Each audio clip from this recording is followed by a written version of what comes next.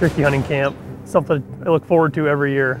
Love that feeling, Wisconsin turkey hunt. You cannot beat the rush you get from those big tops and your decoys. Did that just happen? that was crazy.